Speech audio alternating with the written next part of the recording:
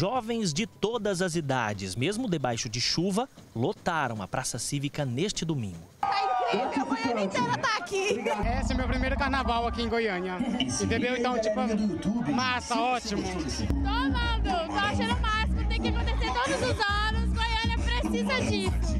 Segundo a organização, mais de 20 mil pessoas estiveram presentes aqui na praça nesse terceiro dia de festa. Mas a expectativa é que mais de 100 mil pessoas participem do Carnaval de Goiânia. É um sucesso total, né? Tanto de organização quanto de público, né? A gente está tendo aí é, uma, uma, abertura muito grande, agradecer ao nosso governador, Ronaldo Caiado, ao prefeito, às forças de segurança, ao IFAM, mas é, é, não nos surpreendeu porque nós nos preparamos, né? Por hoje aqui já dá para você ter uma base e nós estamos tendo um, um, público estimado aí em 100, 120 mil pessoas durante todos esses dias.